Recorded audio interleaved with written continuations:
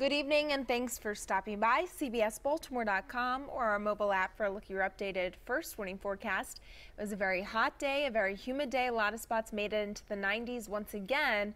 But if you've been outside the past one to two hours, you notice a completely different air mass has moved into place. 82 right now in Baltimore, 82 in Annapolis, but the dew points have gone down considerably from earlier today. Let's show you a look at those dew points across the region.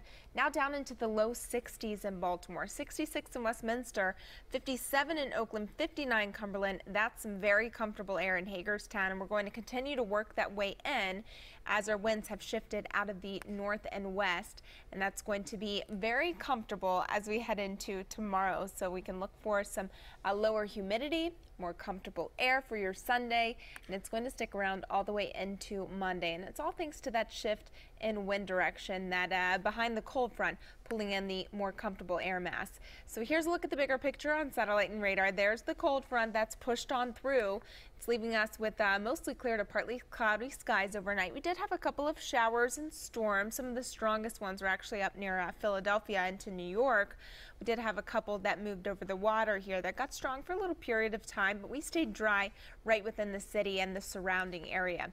First warning futurecast shows high pressure building on in as we head into the overnight hours tonight.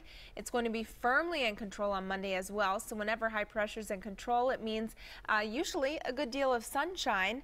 And thanks to the air mass associated with this area of high pressure, a very, very, very comfortable Sunday on tap. And Monday looking good too, but We'll see that return of heat and humidity as we head into the middle of the week once again, along with some unsettled weather.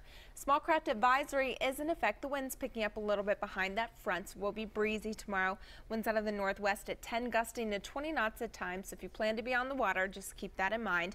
Otherwise, we'll see high tide tomorrow morning at Fort McHenry right around 11:42 a.m. Here's your forecast for tonight: 69, partly cloudy, an isolated thunderstorm possible, but I think that threat is actually over over. We're going to be uh, pretty dry actually heading into the overnight hours. The average low 67, so just slightly above that. We'll have that lower dew point air making it just feel so much better outside. Breezy and less humid with plenty of sunshine tomorrow, 86 degrees. Thanks for stopping by CBSBaltimore.com or our mobile app. We'll see you later tonight at 11 with another first warning update on WJZ.